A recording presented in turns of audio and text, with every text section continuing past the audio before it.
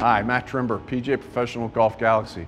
I'm going to talk to you today about hybrids and hybrid fitting. Hybrids, probably one of the most underutilized and misunderstood clubs in the bag. They're designed to replace those hard to hit long irons. Because of their design, they can be used in a variety of conditions throughout the course. So Shane, we're going to fit you up for a hybrid today. Let me ask you, what's the longest iron that you can effectively hit in your bag right now? Um, I have a four iron that I hit.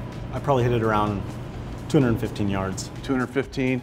So then you go from 215 and then you jump into a, a three wood. Yeah, I go straight to my three wood. And your and your three wood's probably what what are you hitting that? Probably around 250. So that's that's an undesirable gap. We need to close that gap.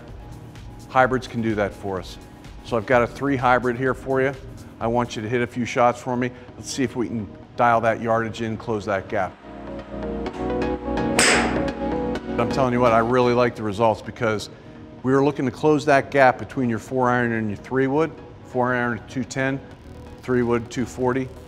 That three hybrid's coming in at a very nice trajectory with the land angle able to hold the green, coming in at a distance of 224.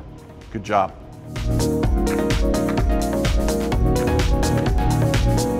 So that's it. That's a hybrid fitting. Book your appointment today. Come on in and see us and close that gap in your bag.